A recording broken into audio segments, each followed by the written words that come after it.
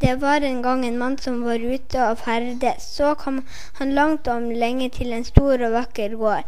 Det var en herregård så gild at den gjerne kunne ha vært et lite slott.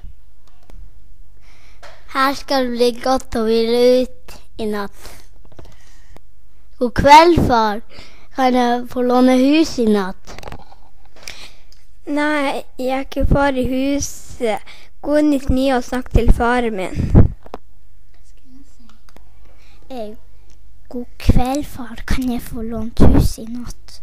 Det er ikke jeg som er far i huset.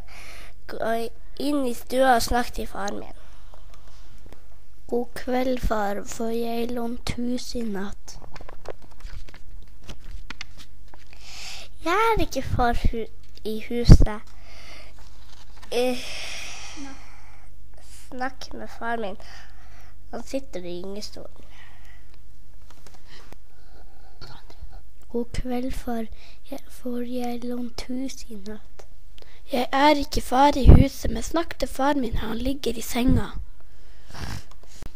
God kveld, far. Får jeg lånt hus i natt? Jeg er ikke far i huset, men snakk til far min, han ligger i vogga. God kveld, far. Får jeg lånt hus i natt? Jeg er ikke far i huset, men snakk til far min som ligger i hornet. God kveld, far. Kan jeg få lånt hus i natt? Hæ? God kveld, far. Kan jeg få lånt hus i natt? Hæ? God kveld, far, kan jeg få lånt hus i natt? Hæ? God kveld, far, kan jeg få lånt hus i natt? God kveld, far, kan jeg låne hus i natt? Ja, barnet mitt.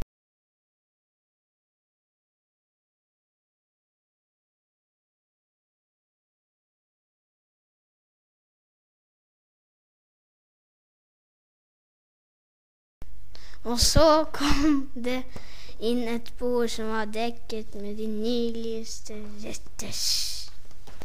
Eh. Da han hadde spist og drukken, kom det inn en god seng. Ferdesmannen var glad for at han hadde funnet den, dette for huset. Kan jeg høre?